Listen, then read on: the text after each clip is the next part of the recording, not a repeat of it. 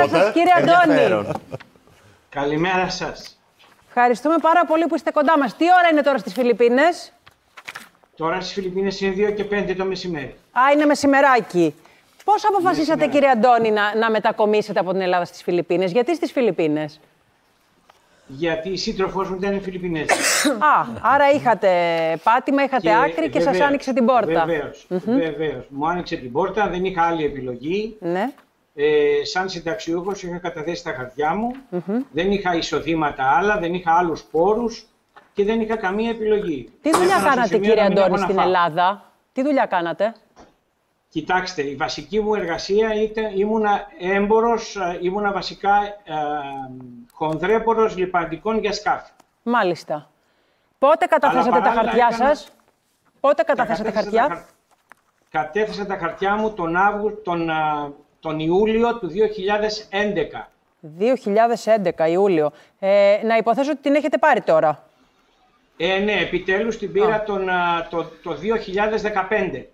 Από το 11 το 15, τέσσερα χρόνια μετά. Γιατί, τι σας έλεγαν κύριε Αντώνη; Είχα, είχα διαδοχική. Α, μάλιστα. Το μεγάλο πρόβλημα με την διαδοχική. Κύριε Αποστολίδη, κύριε Και με Κουτρουμάνη. την Και αιτιολογία, με παραμένει την ακόμη. αιτιολογία Παραμένει, της ναι. διαδοχικής, με την αιτιολογία της διαδοχικής, όσες φορές και αν πήγα, όταν ήμουν Ελλάδα βεβαίως, όλοι μου λέγανε τι να σας κάνουμε κύριε, υπομονή.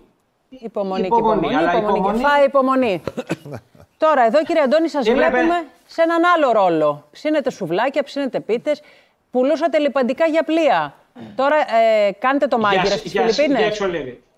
Κοιτάξτε, βα- η βασική μου απασχόληση τώρα είμαι δάσκαλος, α, είμαι καθηγητής μαγειρικής και διδάσκω φιλιππινέζικα πληρώματα για τα ελληνικά πλοία. Τι λέτε τώρα; Πώς και έτσι, ξέρατε και από μαγειρική; Ναι, είχα, είχα κάνει σπουδές α, στη Left Devre και στην Ελεμόν. ναι. Έκανα δύο χρόνια σεμιναριακά δίπλα στον α, Χριστόφορο τον Μπέσκια Α, ξέρατε. και είμαι, βεβαίως, και είμαι και οχ- ήμουνα 8 χρόνια δίπλα στον, για μένα, κορυφαίο Στέλιο Παρδιάκη. Άρα ξέρετε και Ζαχαροπλαστική. ζαχαροπλαστική. Α, μας ανοίξετε και την όρεξη Βεβαίως, πριν. βεβαίως. Πείτε μας το καλύτερο, α, τη- τις σπεσιαλιτές σας σε φαγητό και τις σπεσιαλιτές σας σε γλυκό. Κοιτάξτε, εδώ ασχολούμαι μόνο κατεξοχήν με ελληνική κουζίνα. Προσπαθώ να προωθήσω ελληνικά προϊόντα και την ελληνική κουζίνα. Κυρίως Προωθώ το σουβλάκια σουβλάκι που βλέπουμε, κυρίως σουβλάκια; Κοιτάξτε, το σουβλάκι κυρίως, βεβαίως, κοιτάξτε, μουσακάς και παστίτσιο είναι κοινώς γνωστά, αλλά προωθώ το σουβλάκι σ- με την έννοια ότι να, ξέ, να μάθουν το ελληνικό σουβλάκι Ναι. και παράλληλα βεβαίως εξειδικεύομαι με την βοήθεια της συντρόφους μου και στο, στο φιλιππινέζικο φαγητό. Οι Φιλιππινέζοι έχουν κάποιες πολύ παραλλαγές. διαφορετική κουζίνα από τη δική μας. Τεράστια. Ναι. Ε, ε, μια σπεσιαλιτέ Τεράστια. φιλιππινέζικη, ας πούμε, ποια Μια είναι; λικουδιά, μια δηλαδή. λικουδιά. Κοιτάξτε, που θα μας αρέσει. Ε, μια σπεσιαλιτέ που θα σας αρέσει είναι το αντόμπο. Το οποίο είναι μπορεί να γίνει με κοτόπουλο, μπορεί να γίνει με χοιρινό. Είναι μαριναρισμένο βάσει της, βα- της φιλιππινέζικης κουζίνας, είναι μαριναρισμένο σε ξύδι. Εγώ έχω κάνει μια παραλλαγή και το μαρινάρω σε μπύρα. Μάλιστα. Για να είναι Κυρίως, πιο κοντά σε εμάς. κυρίως δηλαδή τι τουρσιά κάνουν στις Φιλιππίνες, τι κάνουν. Κοιτάξτε, τρώνε πάρα πολύ ρύζι, απίστευτες ποτε- ποσότητες, Ναι. Απίστευτες ποσότητες ρυζιού κοτό, και, και τρώνε κατεξοχήν ε, χοιρινό.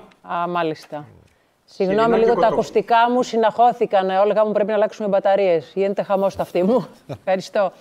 Ε, σκέφτεστε να γυρίσετε, κύριε Αντώνη; Με τις παρούσες συνθήκες όχι. Ποια- υπό ποιες συνθήκες θα Διότι- γυρίζατε; Εάν μπορούσα να εξασφαλίσω ένα εισόδημα αξιοπρεπή, αξιοπρεπές στην Ελλάδα. Άρα δεν τώρα... το έχω στην Ελλάδα, δεν έχω, δεν έχω κάτι. Γιατί Ναι, και η καταλαβαίνω εταιρεία τι εδώ είναι λέτε. στο, όνο- είναι στο όνομα της συντρόφου μου. Διότι η σύντροφός μου μιλάει άφθιστα ελληνικά. Τώρα, κύριε Και Αντώνη, εκεί στις οφείλω να πω- Φιλιππίνες, επειδή δουλεύετε, σας κρατάνε και το 60% της σύνταξης; Κοιτάξτε, Όχι. δεν δουλεύω. Δεν, δουλ, δεν δουλεύω. Δεν δουλεύω. Α, δεν Απλά φαίνεται. βοηθάω τη, γυ- βο- δουλε- Κατάλαβα τι λέτε. βοηθάω τη σύζυγο. Είναι όλα στο όνομα της σύζυγου. Στη, Κατάλαβα η οποία τι είναι λέτε. Φιλιππινέζα. Σωστό, σωστό. Η εταιρεία φορολογείται κανονικά από τη Φιλιππινέζικη Με κυβέρνηση. τι κλπ. φορολογία, τι φορολογία έχουν στις Φιλιππίνες; είναι βαριά. Είναι βαριά, είναι, είναι στο 35 με 40%. Και η ζωή εκεί πώς είναι το κόστος ζωής; Κοιτάξτε, το κόστος ζωής, αν μιλήσουμε για Μανίλα, είναι πάρα πολύ ακριβή. Είναι πιο ακριβή από την Αθήνα.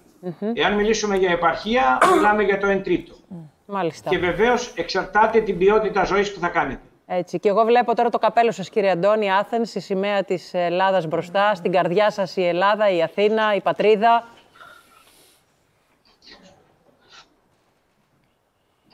Συγκινήστε. Συγγνώμη. Εντάξει κύριε Αντώνη, το καταλαβαίνω ε, και νομίζω ότι είναι σφάλμα... Ζητώ συγγνώμη, ζητώ συγγνώμη. Όχι, ζητώ συγγνώμη εγώ που σας Αλλά ρώτησα. καταλαβαίνω.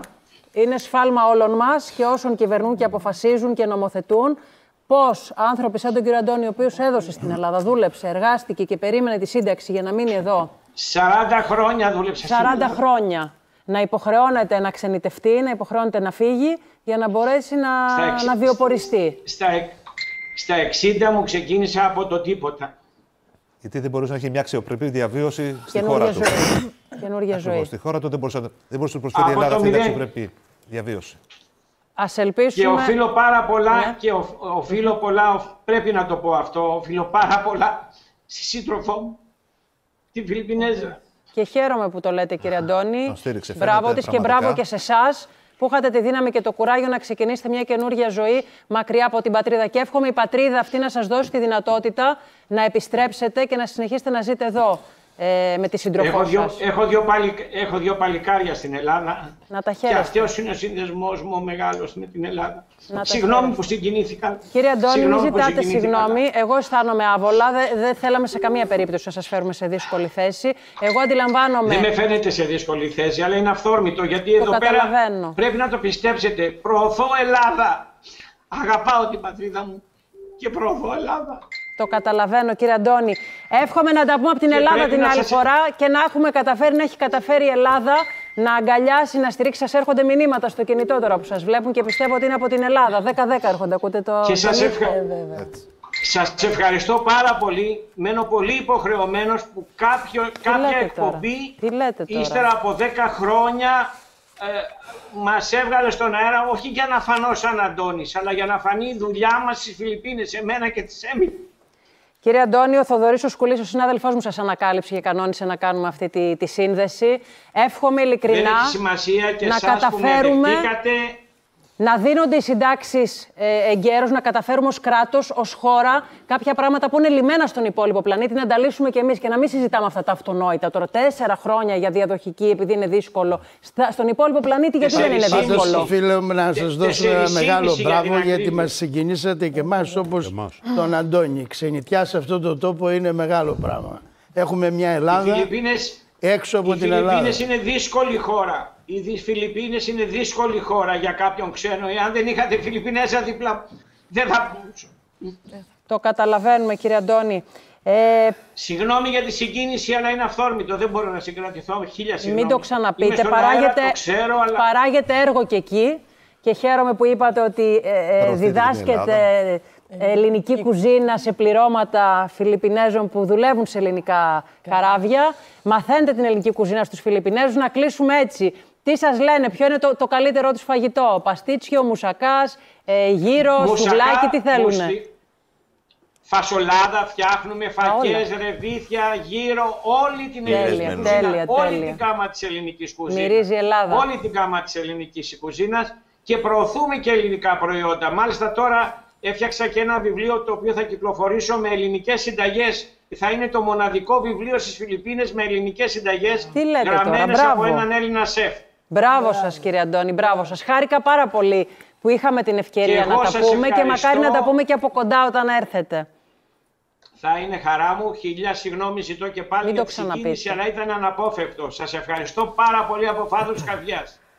Την καλημέρα μας και την αγάπη μας κύριε Αντώνη. Καλή σας μέρα. Σας ευχαριστώ πάρα πολύ. Να είστε Καλημέρα. καλά. Να είστε καλά. Ευχαριστώ σε όλους, σας, σε όλους, σε όλους τους παρευρισκόμενους. Να είστε Να καλά. είστε καλά. Ευχαριστώ.